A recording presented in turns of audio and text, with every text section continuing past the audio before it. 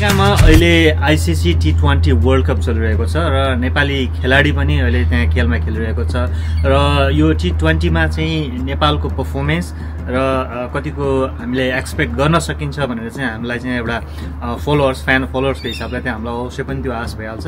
र त्यसको बारेमा कुरा गर्न चाहिँ अहिले मसँग चाहिँ आरती बिडारी हुनुहुन्छ।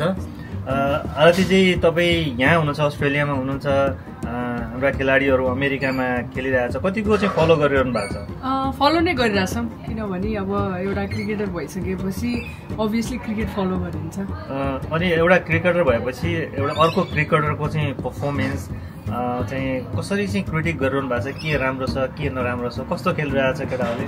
अब खेल्न त एक्सपेक्टेसन उनीहरूले जित्नुपर्ने म्याचको एक्सपेक्टेसन थियो होइन? अस्तिको नेदरल्यान्ड विरुद्धको म्याच जित्न जित्छ कि भन्ने आश थियो। भरोसा पनि थियो त अलिकति फिल्डिङ र ब्याटिङमा चुकेको जस्तो लाग्यो। तपाईँले चाहिँ इन्टरनेसनल गेमहरू पनि खेल्नु भएको छ। इन्टरनेसनल खेलाडीहरूको पनि केही स्ट्रेन्थ छ केही फेसिलिटीहरू छ त्यो पनि देख्नु भएको छ र आफ्नो पनि देख्नु भएको छ।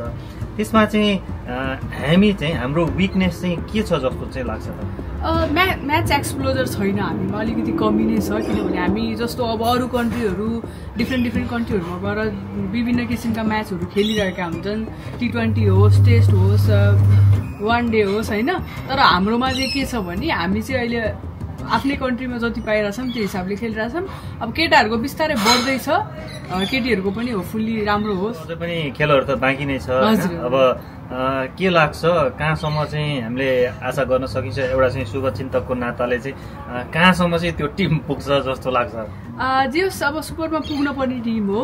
अब आशा गरौँ अब बाँकी रहेको म्याचहरू राम्रो रेन्जले जितोस् राम्रो मार्क्स उसले जितोस् होइन?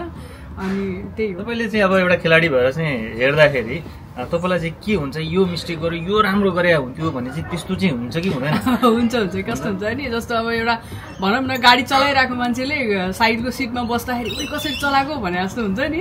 त्यसै अब आफू खेल्दाखेरि धेरै कुराहरू बुझेका हुन्छौँ नि त।